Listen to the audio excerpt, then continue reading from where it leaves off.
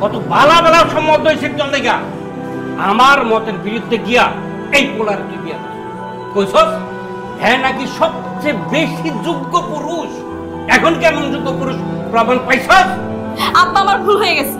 ভাবছিলাম ভালো স্টুডেন্ট ভালো চাকরি করবে, তোমার মেয়েকে সুখে রাখবে, শান্তিতে রাখবে। কিন্তু এখন তো দেখি তার চাকরিই নাই। আমিও সংসার করতে পারব না। তুমি আমাকে তোমার সাথে বাসায় নিয়ে চলো তো। কয়েকদিনের মধ্যে আমি তাকে ডিভোর্স লেটার পাঠাই অনেক কিছু তো শুনলা। আর কিছু শুনতে চাও? চলো, আমরা গ্রামের বাড়িতে চলে যাই। আমরা এমন কোনো সন্তান জন্ম দিই নাই যে বাবা মার দায়িত্ব নিব সারা জীবন। ঘুষ খাওয়ার অপরাধ তোমার কোনো চাকরি গেছে। লোক জানাজানি হয়ে গেলে মুখ ঢাইতে পারব আমরা। এই, তুই কেমন পুরুষ রে? তোর জন্ম দিকে আমরা পাপ করছি। না, তোমরা কেউ কোনো পাপ করো নাই। পুরুষ হয়ে জন্ম নেওয়াটাই আমার আজন্মের পাপ ছিল। তবে এই দেশে আমার মতো পাপীর সংখ্যা হাজারে হাজারে, লাখে লাখে। এরা সবাই মানব সন্তান হয়ে জন্মাইছে ঠিকই, কেউ পুরুষ হয়ে উঠতে পারে নাই। আর পুরুষ হয়ে না ওঠার যন্ত্রণা যে কত কঠিন, কত ভয়াবহ, প্রতিনিয়ত হারে হারে টের পাই। কারণ পুরুষের সাফল্যের ভাগ সবাই নিল, ব্যর্থতার ভাগ তো কেউ নিতে চায় না। কারণ সবাই মনে করে পুরুষ জন্মগ্রহণ করছে, পরিবারের অন্যান্য সদস্যদের চাহিদা মেটানোর জন্য। অনেকে ভুলেই যায়, পুরুষ নামক মানুষটার মধ্যেও একটা মন আছে, একটা হৃদয় আছে, হৃৎপিণ্ড নামক একটা বস্তু আছে। প্রিয়জনের কথার আঘাতে সেই হৃৎপিণ্ডটা না কাইপা ওঠে। ভুলা যাইবই না কেন কম কারণ পুরুষ তো কখনো কারও প্রিয়জন হয়ে উঠতে পারে না। সব সময় পুরুষ প্রয়োজনই কাজে লাগে। জানো সোনিয়া, পুরুষ মানুষ সবসময় চোখ দিয়ে কান্না করে না। মুখ দিয়েও আত্মনাদ করে না। পুরুষের মন কান্দে, হৃদয় আত্মনাদ করে। পুরুষ আবার সেই আত্মনাদ বুকের মধ্যেই চাপ দিয়ে ধরে রাখে। যাতে প্রিয়জনরা না শুনতে পারে, যদি কষ্ট পায়। সদ্যভূমিষ্ঠ একটা বাচ্চা যেমন স্বভাব, যত কারণে কান্না করে ওঠে একটা পুরুষ মানুষও সামর্থ্য না থাকার পরও শুধুমাত্র প্রিয়জনের মুখে হাসি ফুটাইব দেখা স্বভাব যত কারণে বইলা যে আরে এত চিন্তা করো কেন? আমি আছি না, একটা ব্যবস্থা হয়ে যাইব।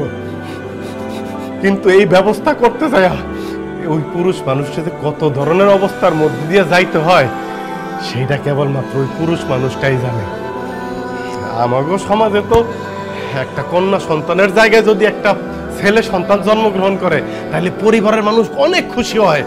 কারণ তারা জানে, এই ছেলে সন্তান একদিন পুরুষ হয়ে উঠবো তাকে সব চাহিদা পূরণ করব। ছেলে সন্তানটা জন্মগ্রহণ করলে ওই দিন থেকেই শুরু হয় চাওয়া পাওয়ার হিসাব। এই যে আমি আজকে চাকরিটা হারাইলাম, ঘুষ খাইলাম। বিশ্বাস করেন, এই অন্যায়ের পথে আমি আমার জন্য হাঁটি নাই। এমন না আমি একটা নতুন শার্ট কিনবো, একটা নতুন প্যান্ট কিনবো এক বেলা পেট বইরা ভালো মন্দ খামো। এই কারণে আমি ঘুষ নিতে চাই নাই। আমি ঘুষ নিছিলাম।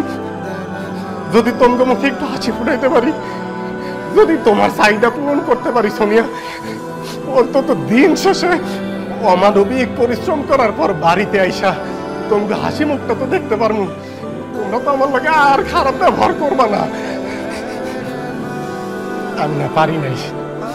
আমি ব্যর্থ হয়েছি অনেক পুরুষ এরকম পারে না। না পাইরা তারা মৃত্যুর আলিঙ্গন করে। পরম শান্তিতে ঘুমায়।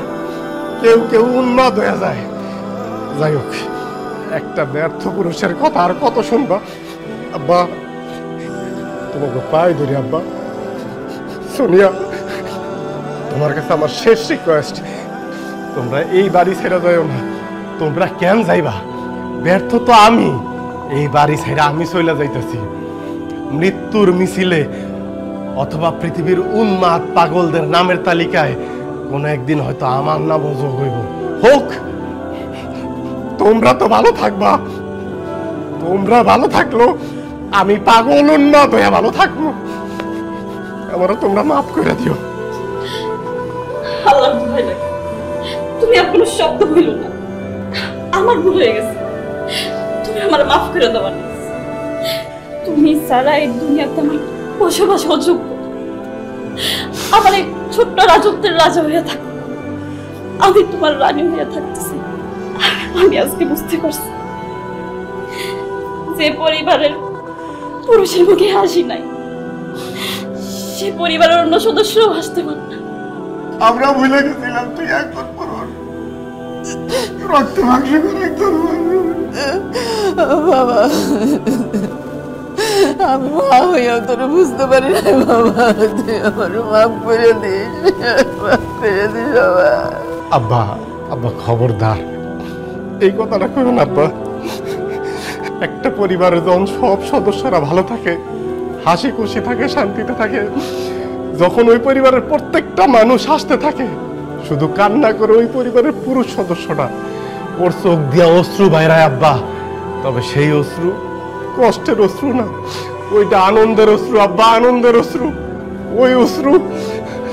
আল্লাহর কাছে শুক্রিয়া আদায় করার অশ্রু, আব্বা। তোমরা যদি হাসি থাকো, খুশি থাকো, আমার যে সুখী পৃথিবীতে কেউ থাকব না, আব্বা, কেউ থাকব না। আব্বা আব্বা, কান্দেন না, আব্বা। তোমরা কেউ কান্দো না, আমি তাহলে চলে যাব।